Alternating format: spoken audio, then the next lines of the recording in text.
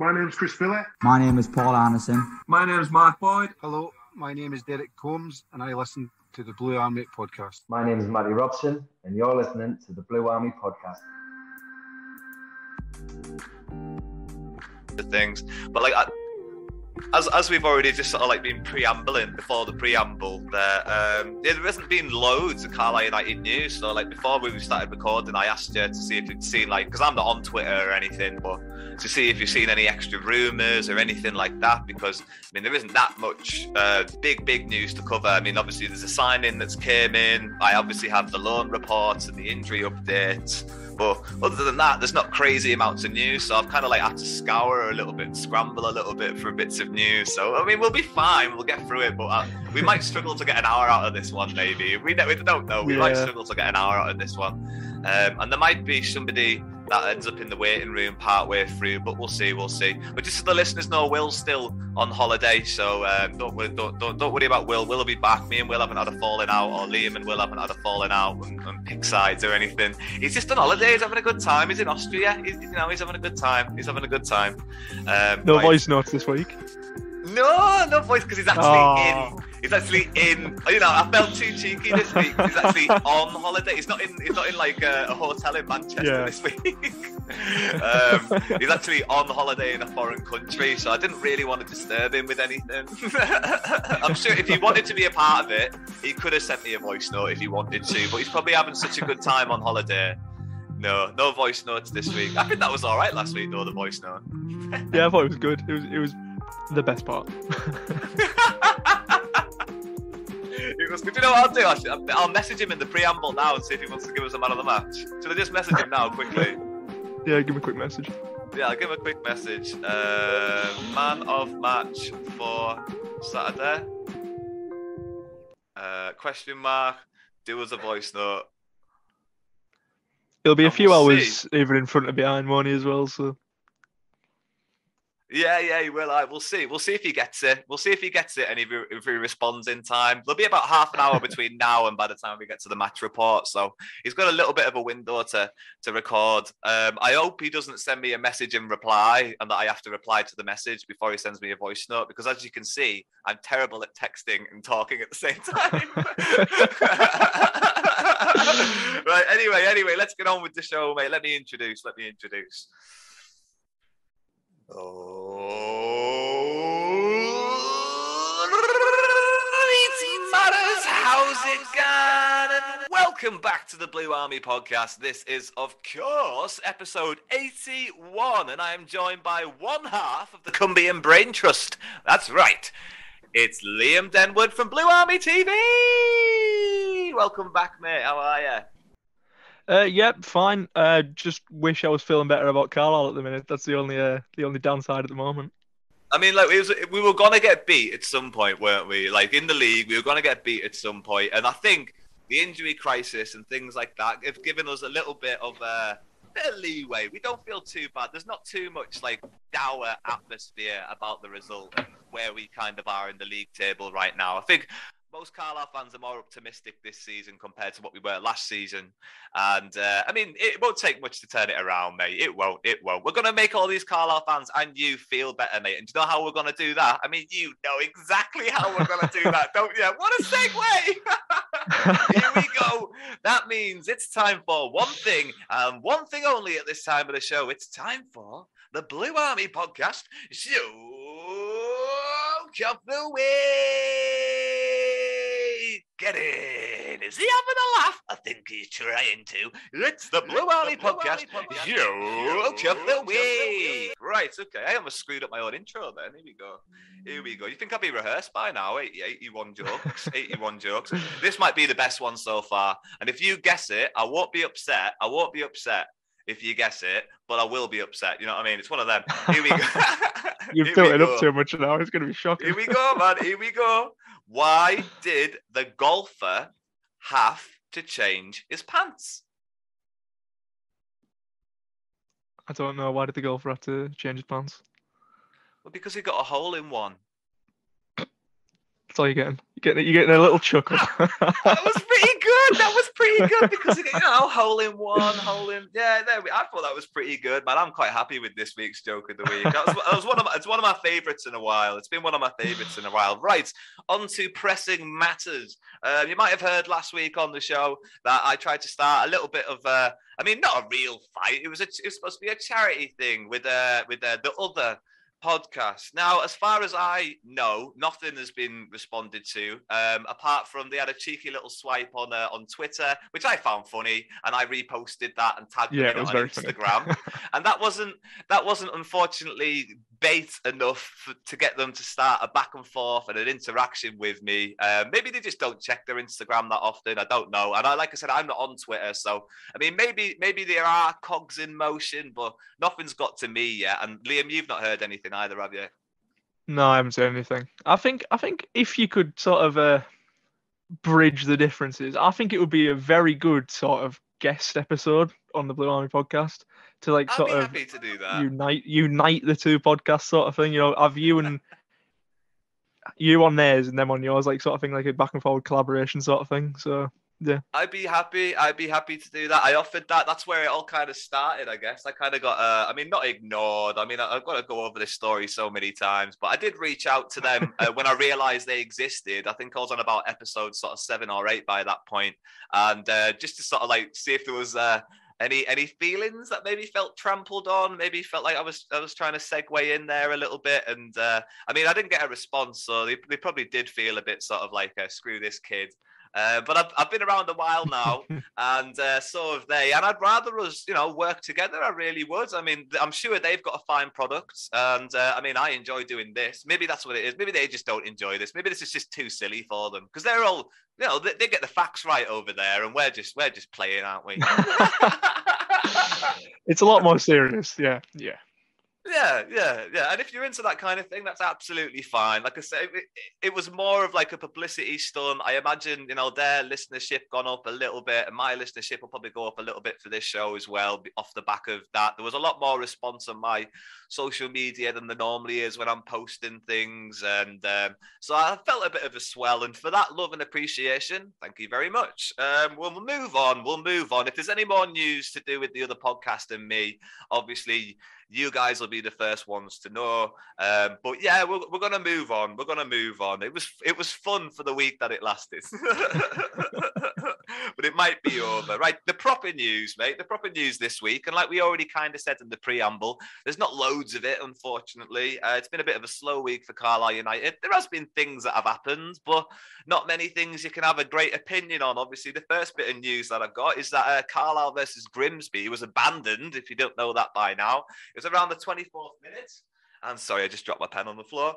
Um, it was around the 24th minute, and uh, the game was abandoned like midway through the first half. Waterlogged pitch. It- I mean, they should have guessed it before the game kicked off. It's a little bit frustrating. That game's going to get replayed on September the 27th. So if you've got tickets, those are still valid. And uh, I believe if you want a refund, you can go and get a refund if you can't turn up. There's no issues there. So go down to Brunton Park, get your money back, or uh, or go along to the game on the 27th of September. That'll be a quarter to eight kickoff on the 27th of September. I mean, Liam, did you watch any of that on iFollow? Did you see any of the sort of like pre-match? That pitch looked awful, man. Like you Yeah, can see it from where yeah. we were. Yeah, I watched it on iFollow. Jesus Christ. I don't it was one of them ones where I understood why they started it because it it it got very bad after they started the game. Like it wasn't uh, it was probably a flip of the coin whether they started it in the first place, but then it got progressively worse. The rain got worse, and they had to call it off. Like th- there was a tackle on Jack Armer that I've seen the clip replayed quite a few times online, where the tackle goes in. It might have been Finn, Finn back, and he was and there's just a big wave of water as he as he goes to the floor, and you just think, and there was passes that would go about two feet in front of them and just stop in the water, and it was, it was one of them. It was just, I was sitting there watching it and thinking, right, I'm I'm not even gonna bother like cheering us on or anything here from home because it's gonna get called off. It doesn't matter what's gonna happen because it's gonna get called off in ten minutes anyways.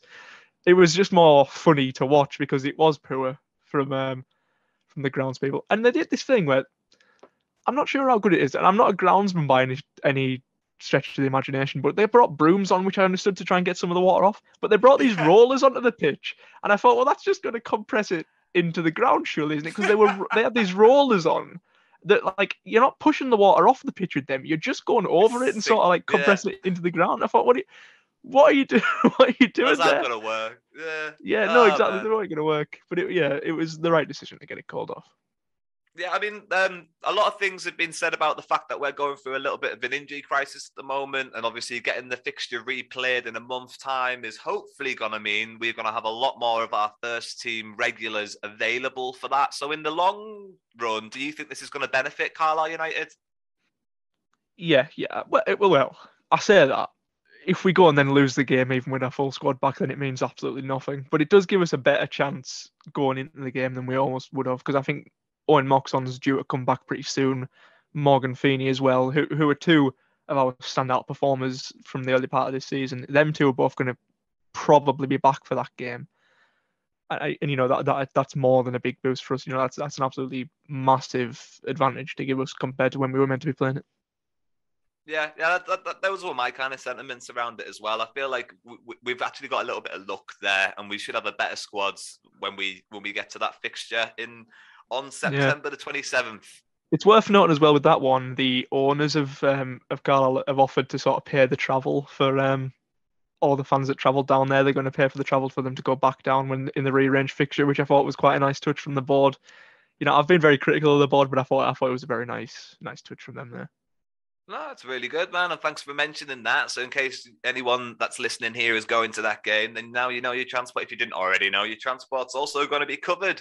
Um, in other news, mate, I mean, the biggest news story that we really have to talk about is the uh, signing of Duncan Idehen, a 20 year old centre back slash sort of like left sided centre back slash I've played 30 minutes at left back in the championship.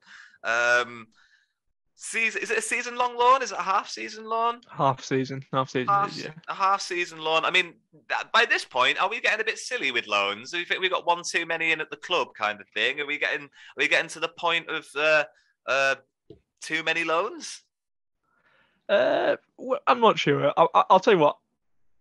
I wouldn't put money on the fact that we'll ever see this guy play. Like, as, as good as some of the bristol city fans seem to think he is I feel like he's just another one to pad the bench out a bit because you, you've got to think, although we did have a bit of a defensive crisis with injured centre backs, I think we've got about seven centre backs in the club now. And, you know, you just think, yes, you play with a back three, but even then, even when you play your second choice back three, there's still somebody left out of the team. And, you know, with Jack Ellis going along quite well, I thought this was pretty, it was just a, I don't know why they did the signing sort of thing. Like, because whether it turns out to be a good sign or not, and however skilled this guy is, is there any real need for him? Because I think he probably could have gone somewhere else and got game time. But I just think centre back's one of our strongest positions when everyone's fit, and we've got loads of them. So I just don't see the point in in bringing him in. See, I think what it is is we're not strong enough in the air at the back, especially when there's injuries in that back line. Now that has improved a lot when you look at Paul Huntington and his frame, but this kid Duncan is also six foot two, and he has a reputation of getting himself in the right position to, and getting the right kind of contact on the ball to clear it in the air. And Simo's very much trying to build um, an aerial focal point at every point of his team. He wants a big target man up front. That's why he's got Edmondson playing. Um, he wants uh, somebody sort of like along the back line that's going to win the aerial battle as well. The midfield maybe doesn't matter as much to him, but he has brought in Jaden Harrison, who is a six footer as well. Um, he obviously wants to win those aerial con- contests. And I think that's going to also build into set piece plays. So we're going to see those three lads or a combination of anyone anyone at the club that's over six foot being involved heavily in set piece movements going forward. And yeah, I think Simon knows what it takes to win at this division. And uh, I mean, it can be as simple as having a defender on three and a half week, uh, uh, three and a half grand a week, a midfielder on three and a half grand a week, and a striker on three and a half grand a week. And that normally seems to win League Two. Um, but we can't really do that. So we need to win it physically. And against teams like Swindon, and Simo's admitted it himself, we, we we can lack a bit when we're playing against teams that need to knock it long, and that's the style of their play. Because we're not that team anymore. We're not the knock it long team anymore. We want to get the ball down and play with it. And players like Patrick aren't aerial players. Like Dennis can header a ball, of course he can, but like he, he wants it into his feet as well. That's why he's such a cultured finisher. He's a really good finisher. Um, yeah, he's not the Gibson's... tallest either, is he? He's not going to no, win the no. aerial duels. No, but he's like Michael Owen was never the tallest, but he was he had a decent header on him. If he could, you know, if the ball yeah. fell to him in the right position, he was a good finisher with his head as well. He was only five foot whatever, but you know, they can still head, they still train every day on these kind of things. So if you get the cross into them, they can still score these goals. And again, like talking about players like Jordan Gibson and Owen Moxon, these are players that need to play the ball along the ground. Uh, like that's how you get the best out of them. Same with uh, Patrick and, and, like I've already mentioned, and, and the wing backs, Finn back, and that we play best with the ball on the ground now. So we need the second option for when things aren't going our way against these aerial teams to be winning those aerial battles as well. And hopefully, like Simpsons admitted against Swindon, we lost the aerial battles in the first half, and then he made the changes in the second half, and then looked at himself and sort of thought maybe I made the wrong decision going into the game, picking the wrong setup, and maybe I should have because I knew they were going to play aerially against us. But Simo thought we'd be able to maybe get our style of play on the go before they got their game plan on the go. But unfortunately, that just wasn't the way things went for us in the first half. And um, I mean, I've gone on a bit of a ramble there, and I don't know exactly what the point was, but I feel like I've made about several points, to be completely honest. uh, um, but yeah, Duncan joins us on a half season low, uh, half season loan. He's six foot two. He might be a little bit of a redundant signing, but thing is as well, he, he can. I, I, think he can cover at left back, can he? And I don't think we have that backup on the left hand side. So I, I wonder if maybe that's another reason to bring him in. Like I, he doesn't strike me as a wing back, but as like a defensive left back in a back four, I think he probably could do a job. I mean, potentially, potentially, Simo did say that, but he didn't say that he's going to look at him as a left back. When he was questioned on left back cover, he actually brought up the name Taylor Charters, and obviously we'll go through that when we go through the injury news a little bit. But yeah, that seems to be. He wanted more left-sided players, um, but he's. I think he thinks Taylor Charters is more more than capable of being the the number two left wing back, and uh, I'm not surprised either because he is a good left sided player. People seem to have forgot that because of the last sort of 18 months, he's been being brought off the bench and put in a more central role. But I've always thought of him as a left sided player that got put in the middle because he was one of our best left-sided players. Because you know we had Max and um, Lewis Bell, and they're left-sided strikers. They like to come off the left, so you know you've got to push somebody into the middle if everybody needs to get a bit of game time. Yeah, and it's worth noting at, at Gateshead he played that sort of wing back role as well, so he has got experience playing out there. So like I, I feel like that's quite well covered, but only I only feel like that this week because Simo's brought that up and said they off the back of this signing who he thinks is his left back signing. And it all makes sense to me. And, and thank Christ in Simo we trust, mate. In Simo we trust. I can't imagine this loan deal costing us a lot of money. I, I, I can't imagine us paying that much of this this this lad's wage. Um, and no. aerially, if Paul Huntington, when he gets back from injury, takes a knock or you know he's a veteran centre back so like things like that might happen. He might like Johnstone's Paint Trophy games things like that. I feel like this is the natural replacement for those games and this young lad's going to be the aerial leader the one that's supposed to be first to the ball the first defender to the ball kind of thing. And obviously the other two centre backs can sit in behind him and eat those scraps and kick it wide and get it into the attackers and then we score more goals hopefully Oh, dear me. In other news, my friend, Rochdale have sacked their manager. The first sacking of the season. He's gone. Poor old Mister. What was his name again? Stockdale, Rochdale, Stockdale. Stockdale. Yeah. I don't know. I don't know why that took me. I knew it was. It just it sounded too similar in my head. I was like, no, you're just making that up now. Rochdale and Stockdale. That just sounds ridiculous. But no, his name is Stockdale, and um, McNulty has uh, taken over, and he's sort of a veteran centre back player Jim McNulty uh, has taken over as sort of caretaker manager for now. Interim charge, interim, whatever that means. I feel like that's a made-up word. Um, Have you seen who's a front runner for that job? And that was what we were going to talk about, mate. Yeah, the return of potentially Chris Beech uh, in League Two. I want him to take it, mate. I, I, I want to see Chris Beech back at Brunton Park. I reckon he'll kick the fuck off.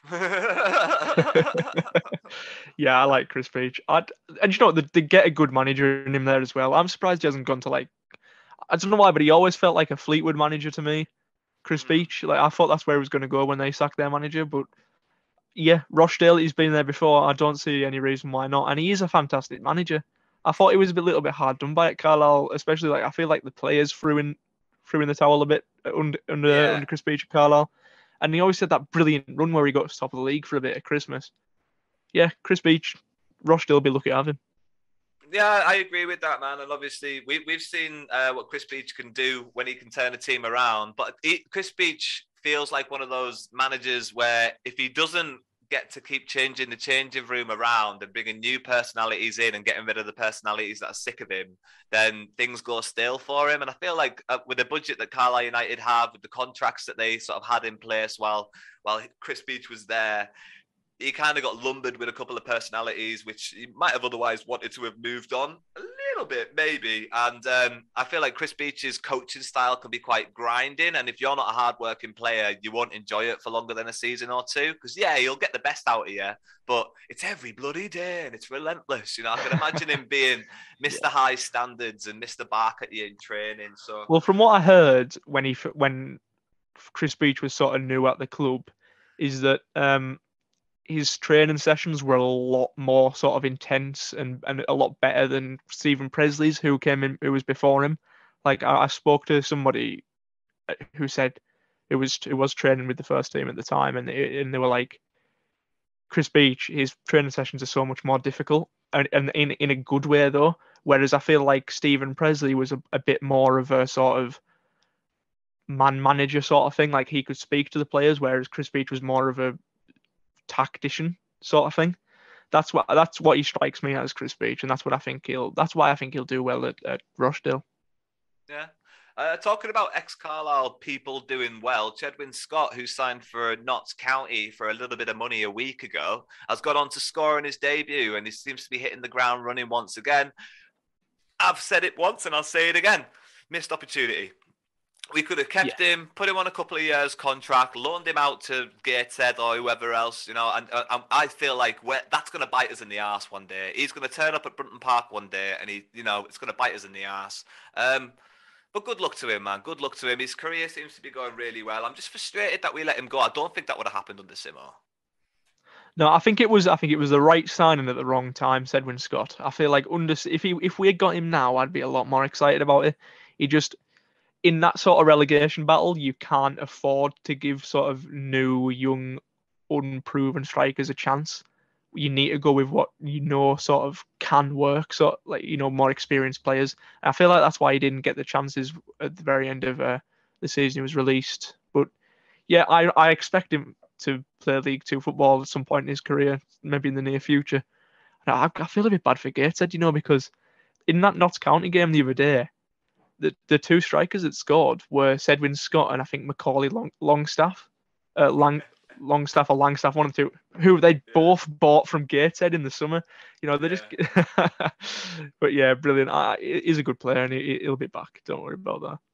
I'm sure he will. I'm sure he will. And uh, well, I mean, we'll move on to the injury news now, mate. Uh, long-term injuries are obviously Joel Senior, Brennan Dickinson, Josh Dixon, Ben Barclay, and uh, Tobi Sho-Silva's still got about four to five weeks to go as well. But in terms of players coming back, hopefully against Gillingham, we'll get Morgan Feeney, Ryan Edmondson, and Owen Moxon all coming back from injury to join us this week.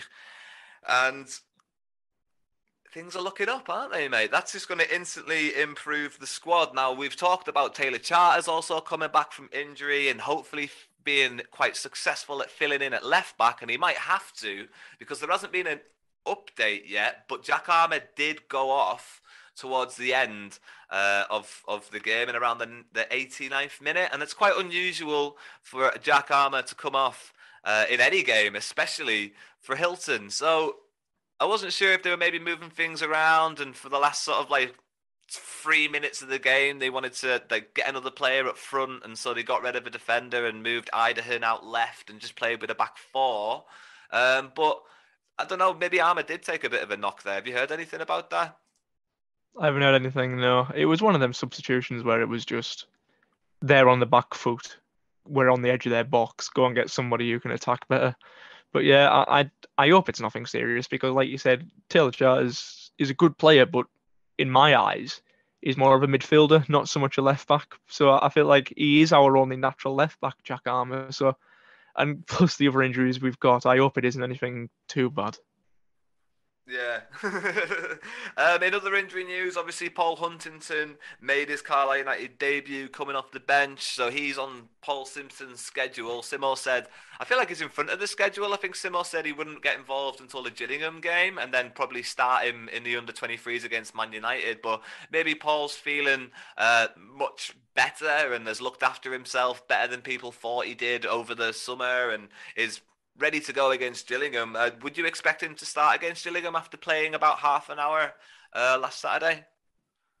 I think it depends whether Feeney's back or not. I think uh, that's got entirely entirely will determine it. But I think Paul Huntington.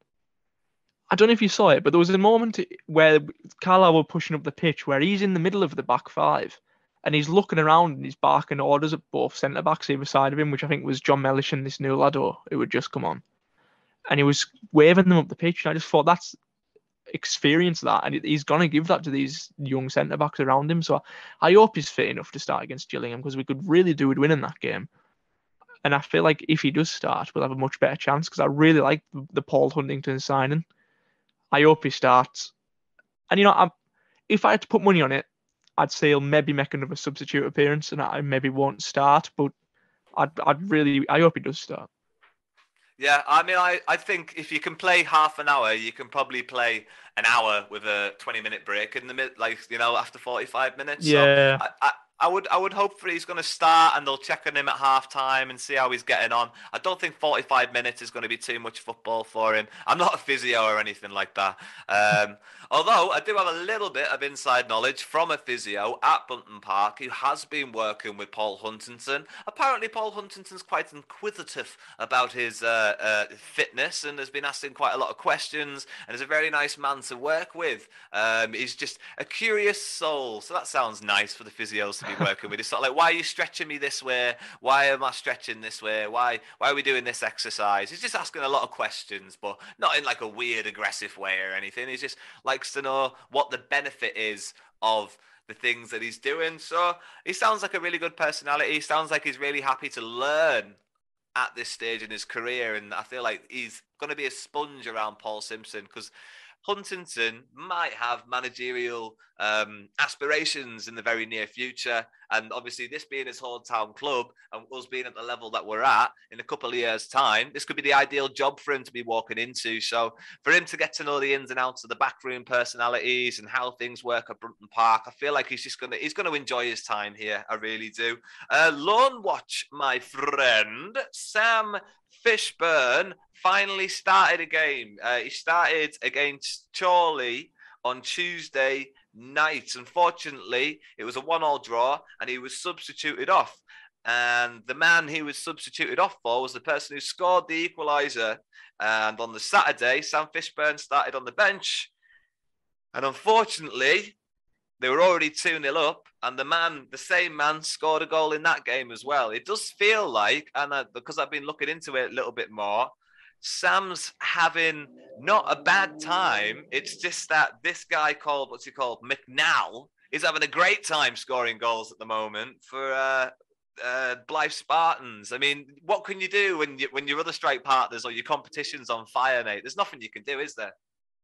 Yeah, not much, but you know he was that man at Lancaster, so I don't know. It's a weird one for me because I, I do like him a lot, but if he can't get into the Blyth Start Spartans team, I don't see what sort of chance he's got here. Even if he is getting outscored by this other striker there, if you're professional League Two quality and good enough to start for us every week, do better than him. Do better than him in in training, and when you get subbed on, score the goals that you need to score. And it, it's a, it's a difficult one for me, but yeah, there's not much you can do at the minute.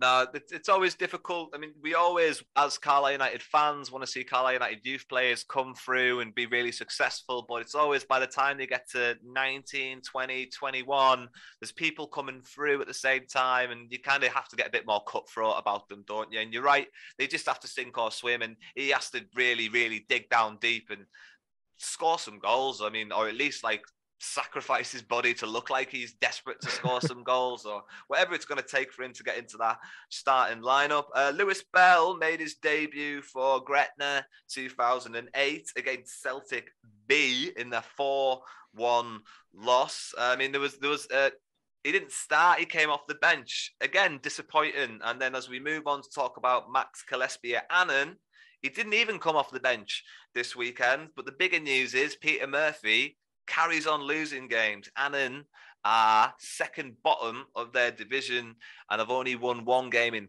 four. Um, I like to look over the border. I like Peter Murphy being in charge at Annan. I don't know a lot about Annan, but like, what what could this be? Like, why have, is is it is it the Owen Moxon effect we were talking about last week? Is it literally is he that good that he was carrying Annan?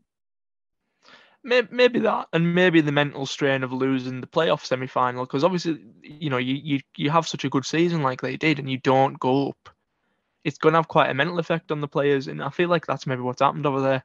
It looks like my career mode, uh, not my career mode. It looks like my football manager save at the minute. You know, I'm trying to do an and one, and I'm I'm currently like, like lost my first few games. I'm sitting rock bottom as well. So yeah, it's a hard time, is it? It's a hard time. At it's a hard, it's a hard, very hard time, and but they just need to get a few wins on the board at, at, at Annan. I, am not going to pretend like I'm a massive Scottish football enthusiast and that I know the ins and outs of the Scottish League too. But you know, you, you're losing that many games, something must be wrong. I downloaded the uh, one of those football manager database things. So I got the um, the lower league. So I've got all the way down to Carlisle City's level, and uh, I managed to get like a promotion with them. And the first player that I've uh, got from Carlisle United is Gabriel Breeze, and he just keeps me clean sheets, man. I, I, I draw a lot of games. like I don't score often. I draw a lot of games, and I'm constantly hounding Carlisle United for players on loan. But in the game, for some reason, they're set as Carlisle City and Carlisle United are set as rivals. So like they won't they won't send you anyone on loan, and then like their players because they've played at Carlisle United youth level just aren't interested in coming to yeah. So it's difficult. So I'll poach them from Annan or Blyth Spartans. try and poach players from there. Oh dear me, love a bit of football manager. Can't wait for the new one to come out. Anyway, we'll move on to the match report. Carlisle United unfortunately received their first league loss of the season, losing 2 1 at the hands of Swindon Town. And I'll give you Carlisle United starting lineup for the game. There was Thomas Holy in nets, back Ellis, Whelan, Mellish, and Armer across the back line, with Harris, Guy, and Gibson in the midfield. Dennis and Patrick playing up front. Now, we've already kind of alluded to the fact that Paul Simpson has said that this maybe wasn't the best lineup for him to start with. Maybe he should have gone a bit more physical. Is you know, like, do you know enough about Idehen to, to, to sort of agree with it? Is he is he just trying to take the blame and take the pressure off his players? Is he is he you know is that is that what he's trying to do there? Yeah, I think it is, and as well, what what is he going to change? We've got that many injuries and that many players out, and you and he, he's very open about that. He, he doesn't want to start Paul Huntington yet. So, mm-hmm. what can he do really? I mean, what you can't put Jack Stretton on yet because he really hasn't impressed me when he when he started, or when he's come off the bench even. Uh, who are you going to put in the midfield battle? You know, you've got this new lad, Jaden Harris, who is meant to be a big physical midfielder. So yeah, he has gone and done that. Uh, you know, you could maybe throw Jamie Devitt in there, but he's not the most physical of players. You know, the only real answer there is Paul Huntington coming on, which he which he did in the end. So I, I don't think there's anything more Paul Simpson could have really done. Uh, but yeah, stretched. Yeah, yeah, but it's a nice change because under the last managers, you would have heard like, "Oh, we played well. It's not the manager's fault because we don't have the squad." Whereas Paul Simpson openly tries to take the blame himself, which is a nice, which is why I think Paul Simpson's as successful as he is because he's got that sort of He's a bit more humble than most managers, and it's a nice it's a nice uh, thing to see him, him trying to take a little bit of pressure off the players because managers in the past definitely haven't done that.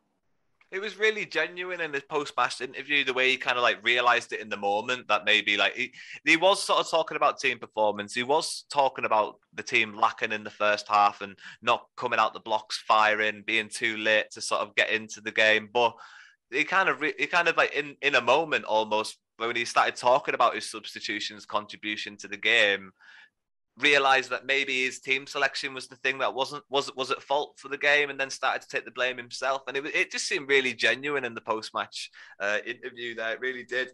Um, maybe you could have changed formation. I don't know. Like I've I've said this before. Um, you might be leaving Ellis a little bit exposed. I'm not saying he's not done really well, but you know, Whelan and Mellish together in the back four, putting Devitt into the midfield to be that kind of a experience, letting Callum Guy maybe sit back as a, a defensive midfield option to, to help them out. But you know, it's a, it's a diamond maybe that we're looking at, like a four-four-two diamond. Or from what I heard, Patrick Omari was quite poor on the day as well, but obviously that's in retrospect. You'd maybe want to play five in the midfield and four at the back and one up front, but that's only after you know seeing Patrick Omari maybe not having the best game of his career.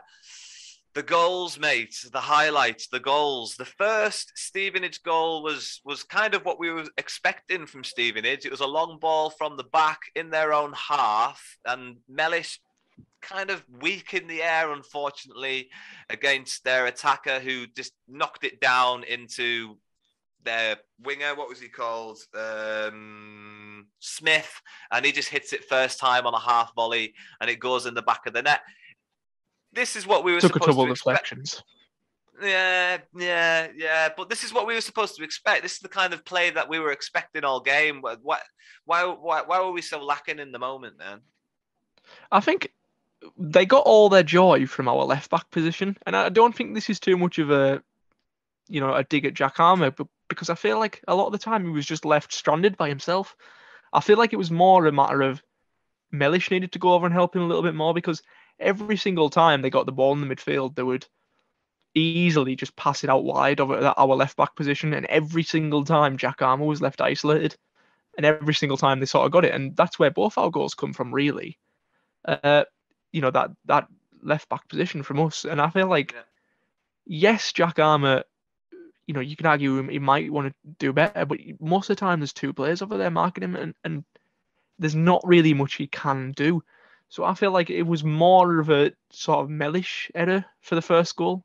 Like you said, he wasn't as strong in the air. I think even then he should be pushing a little bit further left to, to help Armer because we're very, very solid on this right hand side. And it was funniest to see that because our experienced left hand side looked weak, and the side that had Jack Ellis and um, and back were our strongest side of the defence. So I think it is more just a matter of do you take Mellish out of the team and put somebody else there to help on the left, or you know, or, or is it just an issue that Stevenage have decided to exploit that other teams maybe won't notice? I don't know, but I feel like a lot of our problems did come from that left back position. Yeah, like you kind of said about Paul, when Paul Huntington came off the bench in the game, he, he started to lead the defense and show them a little bit more. So I think Mellish will respond really good to that, and once again you'll get like a, a better performance out of Mellish. And maybe Mellish doesn't want to listen to Whelan because maybe Mellish feels like he's better than Whelan as a defender. So maybe there's a little bit like of a, of a a, a poor relationship there, but whether you know when Morgan Feeney's in the back line, he's obviously the best defender. So there's no arguing with Morgan Feeney when he's wearing the captain's armband from Mellish. Do you know what I mean? There's there's not that room Yeah. to argue with, but it's almost like the stepdad and the dad. You don't argue with your dad, but you'll argue with your stepdad, and that's kind of what's happened in Carlisle's back line, maybe. And Mellish kind of just maybe isn't listening to instruction, or maybe Whelan's not giving instruction because he's not that kind of a player. And you know, uh, we're, we're going to see improvement in that back line, and Paul Huntington will help Feeney and he will help uh, Mellish. It'll be interesting to see who takes the lead in communication when Feeney and Huntington start playing together, and who sits in the middle and who's who goes left and right and stuff like that. That'll be quite interesting to see. Or maybe we go 4-4-2 because the two centre backs that we have are that good that we can start going 4-4-2 and putting more players up front again. I don't know. I genuinely don't know. Um, Stevenage's second goal. It is fun to talk about possibilities, though. Stevenage's second goal was was um, down the right hand side, simple ball played out from the striker to the winger to sort of lay him off for a cross. The winger absolutely does Armer. Like, just, it's a nice little bit of skill. I He told you that left back spot. yeah, yeah, you're right. He just this time he just he made Armer look. I haven't seen Armer look that much of a mug. Like I don't think ever in a Carlisle shirt. He's, it's just one of those playground bits of skill where they just chip it over you. Like it's really Yeah. annoying. Like Gascoigne um, sort of thing against Scotland.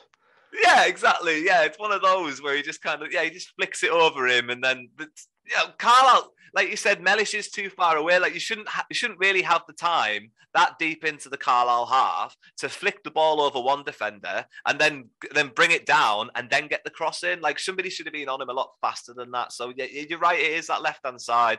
It's a decent little cross in though once he does bring it down and uh, a nice a nice easy tap in for the. Uh, I think it was the left back that scored the goal for them. Uh, name Clark.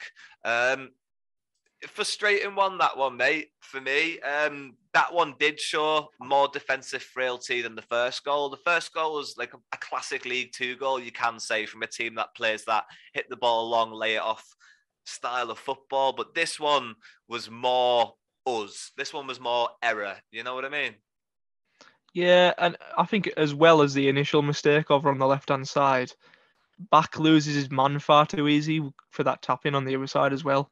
Like he'd come quite narrow in. I thought it was Jack Ellis at first. Looking back, it's it's Finn back that loses his man. You know they look very similar, but um, it it just it's just far too easy, and it was just a lapse of concentration. It, it's one of those ones that was lack of experience. I think. I think an experienced fullback, you know, as much as I slated him last season, that doesn't happen with Kelvin Mellor there at right back. Mm, you're right. Yeah, you're absolutely right. You're absolutely right. Um, res- finally responded only about three minutes after the second Stevenage goal. Patrick Omari with a clever inside ball into Gibson, who laid off a, an inch perfect cross for Dennis, who had acres of space in the six yard box to knock it in at the back post. Now, like I've said, he's not the biggest attacker in the world in terms of being a target man, being a tall guy. But if you do get the accuracy of the cross, he can find the back of the net on a regular occasion. And that is five in five for Dennis. Um, do we start building a statue now? Like, what the hell's going on, man? He's killing it, man. He's killing it. He's doing well. It's he's the first player since I think the 50s to score in our opening five league in our opening five games of the season. You know, he's he's on a brilliant run of form. I wish he would start scoring more winners and less equalizers, sort of thing. Like, but you know, but I yeah, someone else would contribute as well. Exactly. And do you know what? That's the big issue. I feel like I think as much as I like Dennis scoring these goals, we had the exact same issue when Mellish was scoring loads of goals where we were far too reliant on one player. And then when he stops scoring goals, nobody scores them. Uh, like I remember back then I was saying I said it at the time, Mellish is scoring all our goals from midfield. We're not getting any goals from our strikers.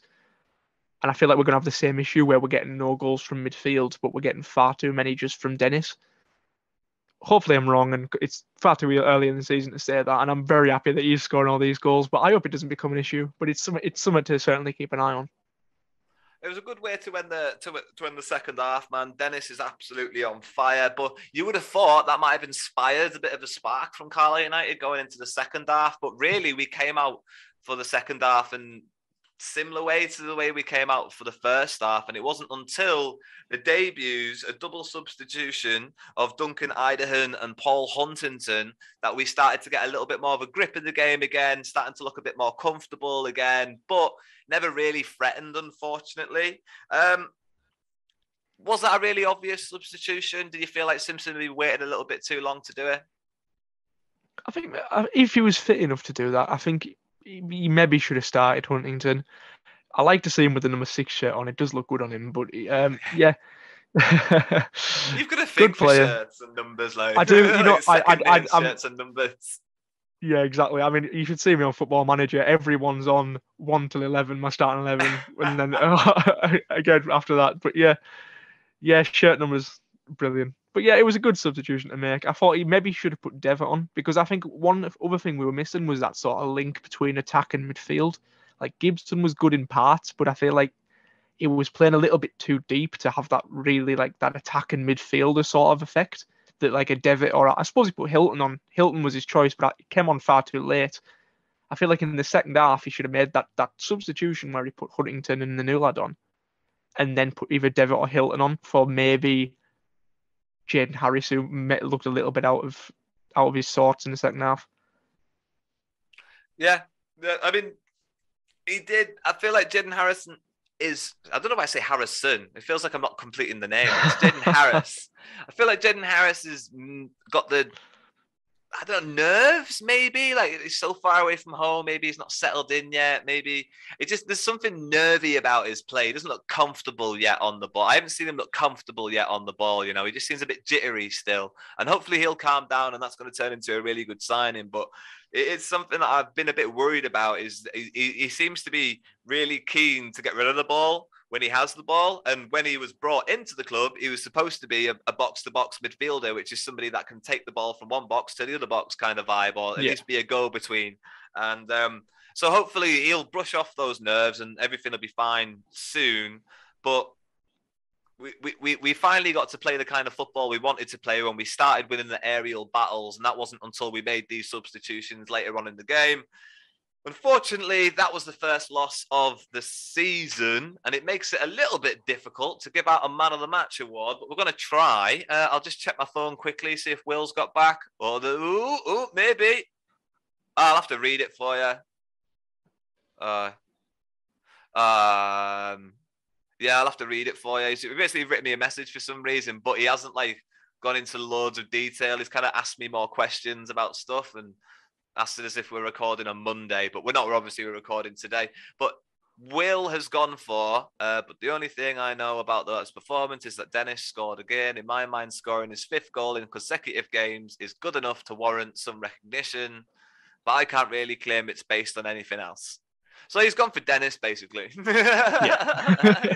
he's gone for Dennis, basically. It would have been nice to have got a little bit of a voice note, uh, but obviously, Will, Will, Will's quite methodical and he likes to know his details, and uh, he's not gonna, he's not going to sound the fool for another week on a voice note you know, unless he knows exactly what he's going to be saying and exactly what he's going to be doing. So at least there's there's, there's been some interaction from Will's there. But Liam, you're actually here. Tell us who your man of the match is. You know, that's actually so difficult. I haven't a clue. Um, it is. I think. Oh, that's. I'm gonna have to go the same as Will's for the exact same reason. Dennis scored, giving him the man of the match. There wasn't that much debate and giving it to Gibson because it was a good cross that he put in for Dennis. But nah, Dennis, I feel like he's scored five goals and I haven't given man of the match for any of them yet. So I'll, I'll give him the credit he deserves. Give it to Dennis. Yeah.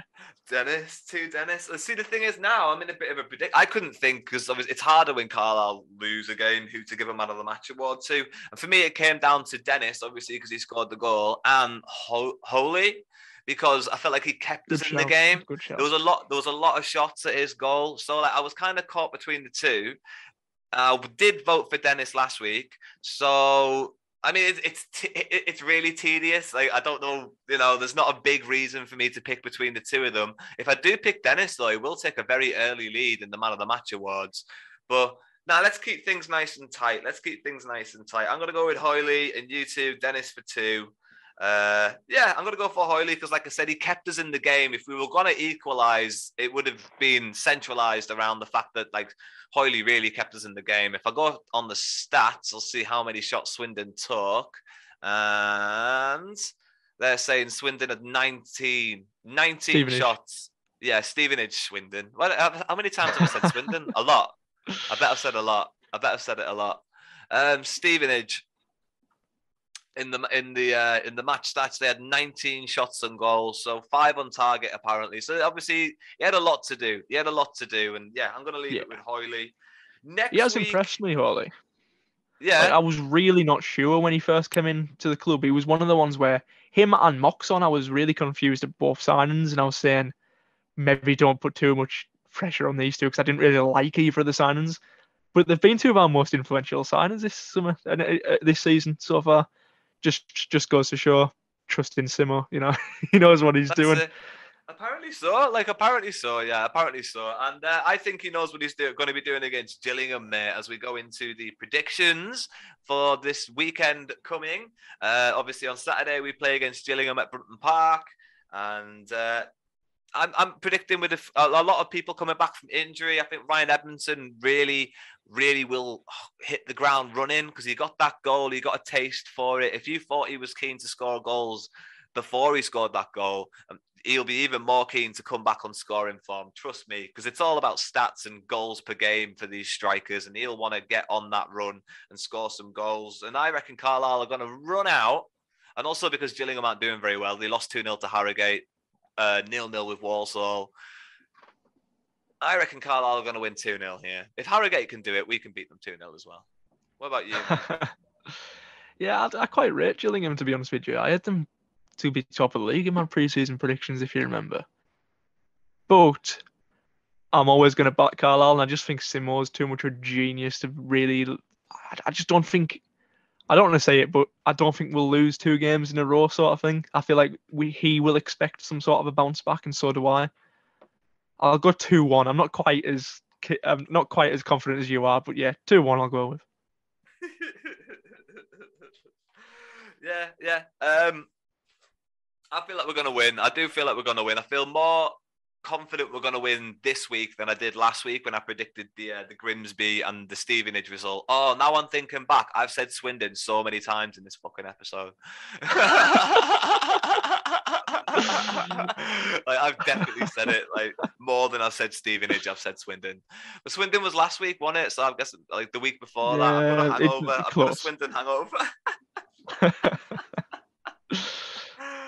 Oh dear me. Um, right, we'll uh, we'll we'll uh, we'll move on to the the last part of the show, mate, and that's on this day. And I'll be honest with you, I haven't really prepared one, so I've literally just picked up the book now, and I'm just gonna read one that takes my fancy. And this one is the names Magno Vieira, Peter Murphy in the in in the paragraph. So I'm gonna read this one, mate. On this day in 2004, goals from Andy Priest, Magno Vieira, and Peter Murphy broke the conference duck for United as they recorded their first victory of the non league season at the lawn against Forest Green Rovers. It was welcome relief for manager Paul Simpson, who was under no illusion as to just how difficult the season ahead was going to be.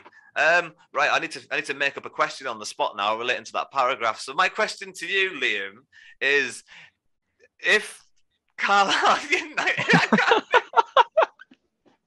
this is what happens when I don't prepare, man. This is what happens when I don't prepare. I do apologize to everybody. If Carlisle United went down, God, here we go. Yeah, why not? This is a stupid question. If Carlisle United got relegated this season, would you still have Paul Simpson in charge next season?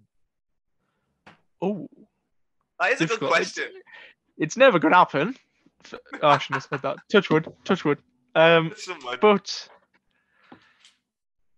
I'm not sure, you know, because if he went down, he'd have a lot to answer for because he's made some sort of good big signings this summer. Um, you know what? He's took us down before, and look what happened last time. So yeah, stick with him for a bit. Oldham did it with John Sheridan, I suppose. And you can always get the fans to blame the board instead of the manager. I don't think Carlisle fans are ever going to turn on Simo. No, yeah. I don't think so. I, I, reckon Simo. I reckon Simo could take us down and still still be in the hot seat. Like uh, I reckon he really. Yeah, could. exactly. I'll be sitting in, in the like Northwest Counties League Division Two, and I'll still have him in charge. You know, like keep him. Yeah. Oh man, Liam, thank you so much for joining me for episode 81 of the Blue Army podcast. It's been an absolute pleasure, and there's nothing else really left for the two of us to do apart from say bye for now. Bye. And uh, don't forget to follow Liam Denwood over on YouTube by typing in Blue Army TV. There'll be a link to his YouTube channel in the description of this episode.